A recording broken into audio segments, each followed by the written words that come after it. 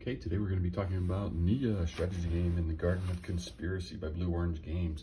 Uh, if you didn't know, Blue Orange Games usually makes really high quality components in their games, and so uh, we really like them. Also, the games are usually really fun and, and kind of uh, fast, and um, they're just high quality stuff. So the way Niya works is very simple. You are going to take one of your pieces uh, and you're going to put it on the board somewhere.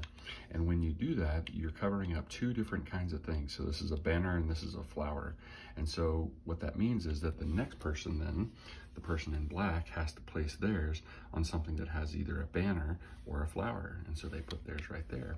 And when they do that, now you, the red person, has to put something on, something that has a flower or an orange thing, uh, or, you know, the sun.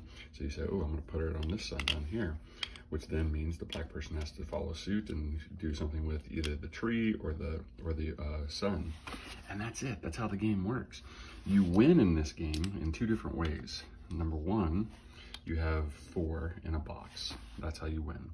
Or the other way to win the game is that you have four in a row. Very simple. All right, so one, two, three, four. It could be one, two, three, four, and it can also be diagonal, one, two, three, four. And that's how you play the game. So most of these games are over within, you know, 10 or 15 minutes. And so it's a really nice, quick strategy with really nice pieces. Um, anytime we, we can have these tiles, uh, they're just really great to have. So cool game. My whole family loves it. We play it all the time. So good stuff. Go check it out.